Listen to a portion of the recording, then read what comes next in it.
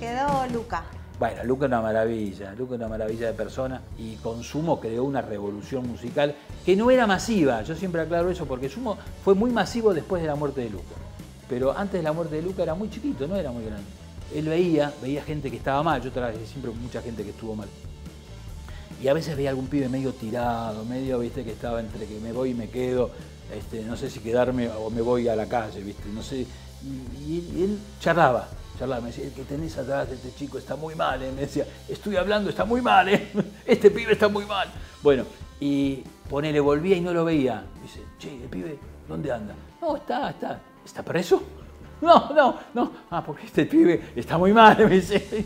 Y se acordaba, o sea, se acordaba de la gente. La gente se, se, ponía loca cuando lo veía para charlar con él, pero era recíproco, él se ponía muy contento de charlar con la gente.